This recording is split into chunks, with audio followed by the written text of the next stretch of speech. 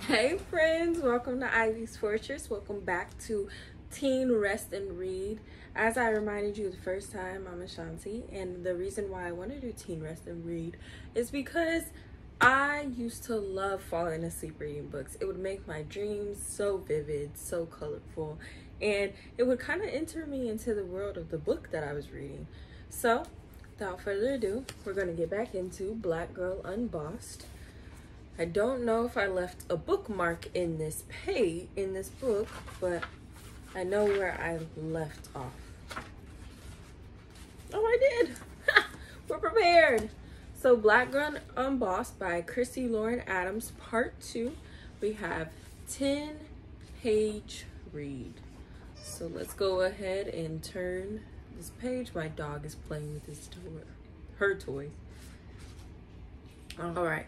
So our next human is Amara Ifeji. The outdoors is not just a place for an individual who looks this way or has these resources. It is a human right. Man, sister. Amara Ifeji, Afiji, environmental justice activist. Ooh.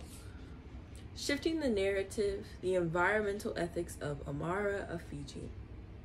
I started off exploring in the dirt, and up until I was 18 years old, I was still playing in the dirt, Amara Ifeji says, laughing. In her 18 years, Amara has already made a significant impact as a climate and racial justice activist. A profile piece for a daily Maine newspaper wrote of her prominence, saying, as she gra- graduates from Bangor High School, Nigerian born Amara Ifeji leaves behind a legacy of scientific achievement and social change.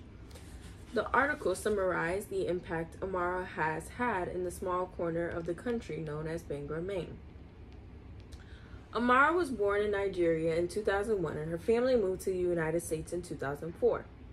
They first lived in Maryland. When Amara was nine, they moved to Maine. I love Maine so much, Amara says. It has afforded me opportunities I want to be a part of that uh, of that progressive change to make the state I love a better place to live, work, and raise a family.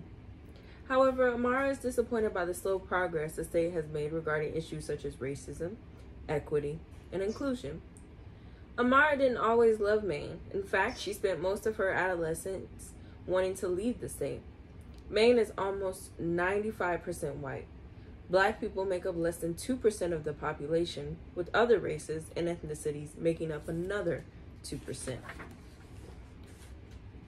Sadly, some of Amara's experience growing up as a young black girl is Maine is included in racism. In Maine included racism. Ooh, jumbled me up.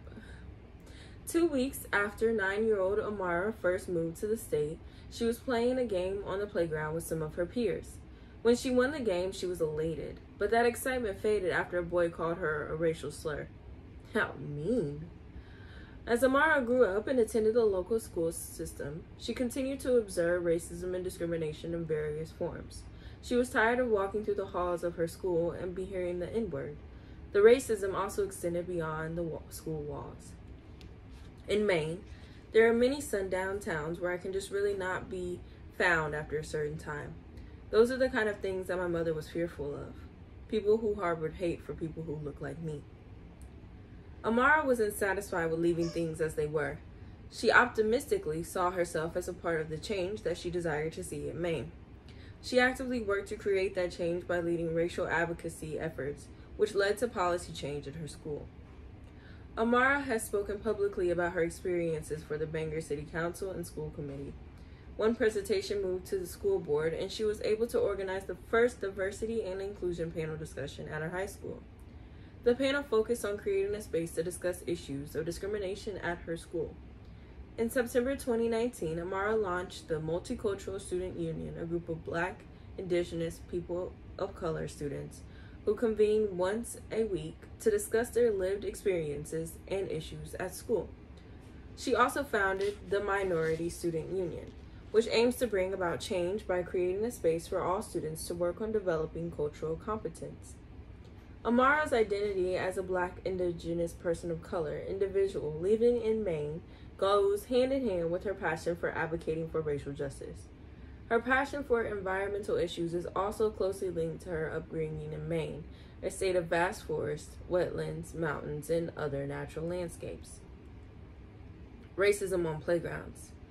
Black girls across the country have long been subjected to racism on playgrounds at their schools and in their neighborhoods.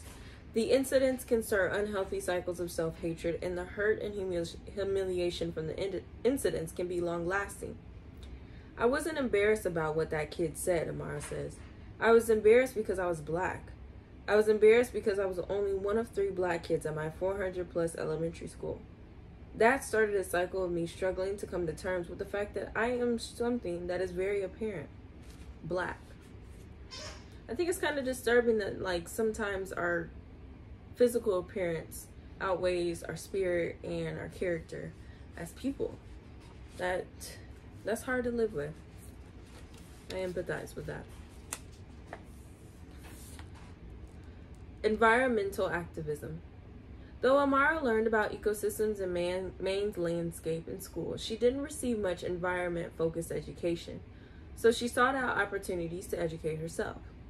While in high school, Amara attended an event with the Maine Environmental Changemakers Association, a youth led intergenerational network that connects young Mainers, ages 15 to 30, from diverse backgrounds who are passionate about the environment with peer mentors and established professional mentors in the sector.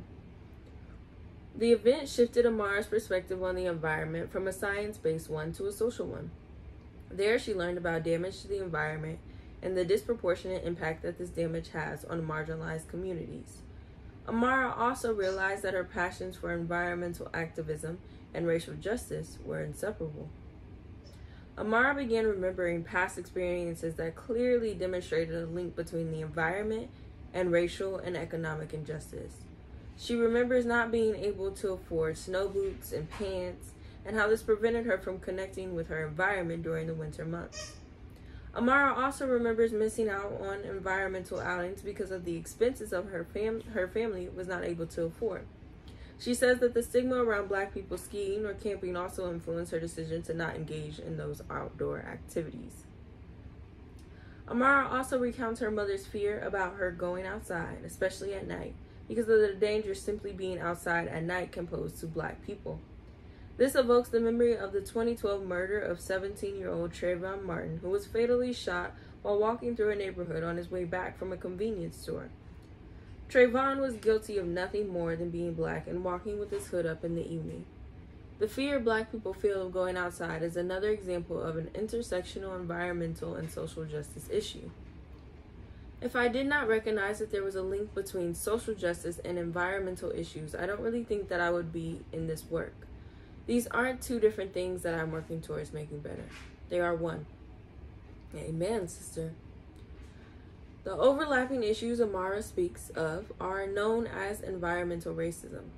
Large segments of the population are disproportionately affected by environmental barriers. Because of this disparity, Amara strives to be a change maker within the world of the environmental activism and environmental equity. She is committed to helping ensure that all people have protection from environmental hazard and access to the environment. Eventually, Amara, Amara evolved from a young woman interested in environmental issues to a climate justice activist. During high school, Amara was involved in the Bangor High School STEM, Science, Technology, Engineering, and Math program, which tackled issues such as water quality and heavy metal pollution. Amara even participated in an independent research project that focused on the water crisis in Flint, Michigan, by trying to resolve heavy metal con- contamination in drinking water. Flint still does not have clean drinking water, so if you can find a way that to advocate or um, support the residents of Flint, Michigan. Okay, back to the read. Later, Amara became president of the Stormwater Management and Research Team, SMART. SMART is a youth led water quality management team which aids to provide female students with opportunities to explore environmental STEM. Environmental equity. Land is a source of livelihood, providing essential food and water for black people. Land is also an important part of our historical identity and spirituality. Our African ancestors believed land was a gift from God. Because of this, They took great pride in the land and saw themselves as stewards of God's resources. Unfortunately for black Americans, slavery forced our ancestors to work the land and build the infrastructure of America with sweat and blood and no reward. Amara explains those who are typically affected by things like natural disasters and environmental phenomena are black, indigenous people of color individuals, especially when one of three African American individuals lives within 30 miles, 48 kilometers of a coal plant. Coal, as in C O A L. Sometimes people think I have an accent and I don't pronounce my words correctly. For her work in environmental justice, Amara was awarded the Maine Environmental Education Association Student of the Year Award. Good for her. Her research projects, which have won numerous awards, centered on methods of water purification. Amara's dedication to intersectional environmentalism led her to become a grassroots development coordinator with the Maine Environmental Changemakers Association. In this role, Amara continues to advocate for intersectional climate change climate justice solutions through various programs and initiatives. Through my work, I've led efforts to allow individuals, especially those from marginalized backgrounds, to recognize that the environment in the outdoors is not just a place for an individual who looks this way or has these resources. It is a human right. Amara Ifeji continues that legacy of Black Americans returning to the land by teaching that we all have an ethical responsibility to protect its sacredness because our land is very much sacred. Unbossed lessons. What we can learn from Amara of Fiji. Ethical leadership. An ethical leader is guided by their values, beliefs, and principles. They respect and serve others, are honest, and work to build community. Amara has a clear code of ethics, one that celebrates inclusivity and justice. What is your code of ethics? How can you be an ethical leader in your community? Amara loves constructive criticism. Amara loves her community dearly. Because of this love, she was keenly aware that there were things she wanted to change. Amara's criticism didn't come from an intent to cause harm, but from a desire to see something she loved become even better. We can be critical of the things we love when we include truth and ethics in our critique. Everyone belongs. Amara not only believes everyone has a place in the outdoors, but also believes everyone has a place in our society at large. Amara strives to be inclusive of all individuals and all communities.